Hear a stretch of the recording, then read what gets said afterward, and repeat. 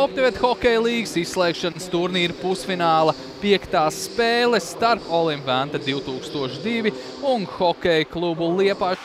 Tagad laukums saimnieki. Ripu. Balak un šāviens. Te mani rips virzienu. Un vārti! Kurijos vārtu gums. Un izvirzās vadībā 1-0 laukumā saimnieki. Tas tiešām ļoti, ļoti kurjos vārtu gums. Mārs Jučers ķēra visu, bet neizdodas viņam šī, te, šeit tikt galā ar metienu. Nu, principā ar metienu no laukuma apmales.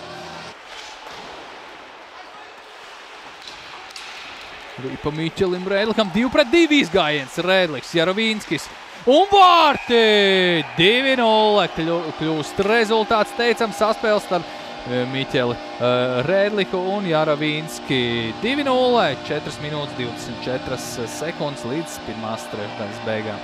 Nu, jānoņem cepuri abu šo spēlētāju priekšā. Lieliski izspēlēts uzbrukums. Saspēle šobrīd ieejot zonā Olimpienīgai tik gludi, kā viņi vēlētos noteikti. Rēdlīgs tiek pie rīpas, teicām piespēlē. Vārds priekšā Galoham.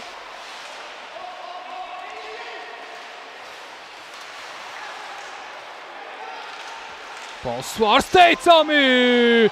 Lielisks reids padevās Paulam Svaram. Nu, gandrīz viņš panāca rezultātu 3-0. Edijs Brākmans atmet uz atpakaļ.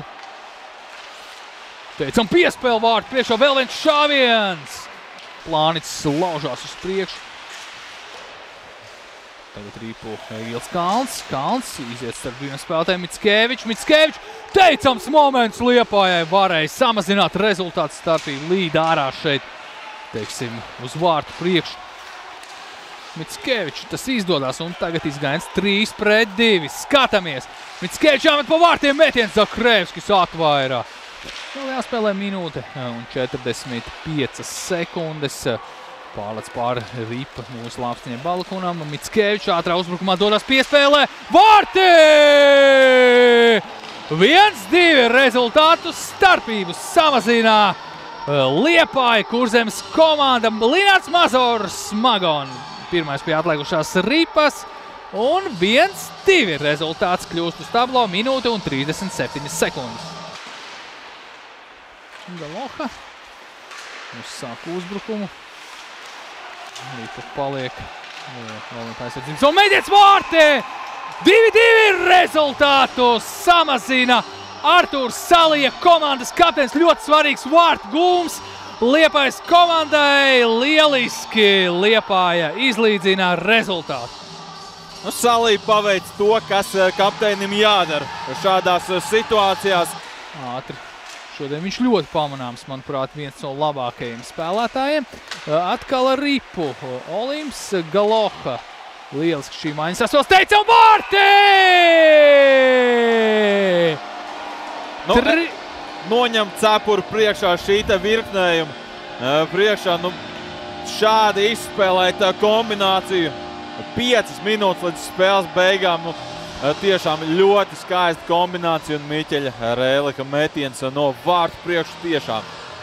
Cepuru nost šiem te vīriem, kā viņi kopā jūt viens otru. Tagad noturēties, un tas dod nelielas priekšrocības Plānicam. Viņam gan tās neizdodas izmantot, uzvariem tie naši rokos. Rīpa paliek zonā. Salī pie zilās līnijas izdevās viņam to noķert. Vēl 40 sekundes līdz pamatlaika beigām neprecīzi piespēle un te Rīpa slīd iepratim tukšiem vārtiem. Ezītis 4 pret 2. Emīls Ezītis un, un izdodas Olimpa komandai pielikt punktu šim mačam un arī droši vien arī varam teikt visai sērijai.